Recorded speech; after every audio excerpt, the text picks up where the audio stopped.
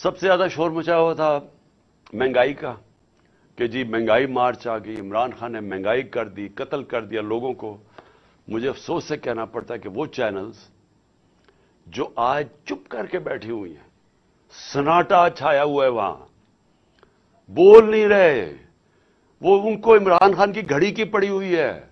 ये भी पहली दफ़ा हुआ कि मैं अपनी घड़ी बेचूं, उसके ऊपर ही शोर मच गया है। मेरी जाती घड़ी है, मैं उसे बेचूं, मैं जो मर्ज़ी करूँ उसे।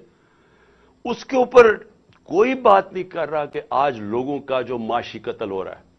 हमारे दौर में माइक जा रहा होता था सबके सामने अच्छा जी बताएँ, कितनी महँगाई है, कितनी तकलीफ़ है चुन चुन के।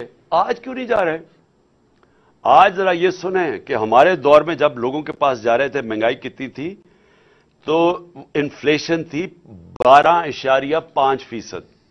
उस पर जनाब बिलावल भुट्टो ने इतना जोश में कि मैं महँगाई मार्च करने लगा हूँ, मैं कम पे टांग देंगे इस्लामाबाद में पहुँच के। तो आज महँगाई किधर पहुँची है? चौबीस फ़ीसद के ऊपर। दुगनी है आज महँगाई उस दौर की। कोई किसी को फ़िक्र नहीं है कि महँगाई में क्या हो रहा है। पचास साल में सबसे ज़्यादा महँगाई आज पाकिस्तान में। कितने लोग ये? कितने वो मीडिया हाउसेस अपने जमीर जगाएँ। पैसा सब कुछ नहीं है। पैसे के पीछे चोरों की ना मदद करें। इस मुल्क में चोरों को ना बचाएँ अपने पैसे जमीर बेच के। आज दुगनी महँगाई है। और कौन सी क्यामत आ गई कि तब से और अब में कितना महँगाई असल तो हुई थी तेल की वजह से। हम क्यों फंसे हुए थे? इंपोर्टेड महँगाई थी। दुनिया में तेल की कीमत बढ़ गई थी। कोरोना की वजह से सप्लाई शॉर्टेजेस थे। तो आज आज इंटरनेशनल मार्केट में तेल की कीमत क्या है? 80 डॉलर से भी नीचे आ गई है।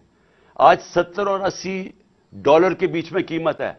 हमारे दौर में 103 डॉलर से 115 डॉलर तक तेल की कीमत थी, जिसकी वजह से हमें मुश्किल पड़ी हुई थी महँगाई रोकने के लिए। तो हम जब कहते थे कि बाहर से महँगाई है, तब तो कोई नहीं सुनता था।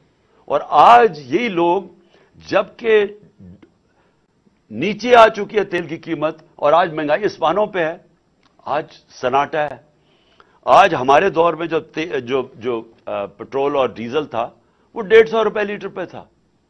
आज कोई दो सौ चौंतीस रुपए पे एक है, दो सौ दो सौ चौबीस पे एक है, दो सौ छत्तीस पे डीजल है। तो आज क्यों नहीं, जब डॉलर नीचे, जब जब तेल नीचे आ गया है तो आज क्यों नहीं किसी को फ़िक्र कि लोगों की कमर तोड़ दी है ये पेट्रोल और डीजल के आसमानों पे कीमत गई है, जो आम आदमी को अफेक्ट करती है। फिर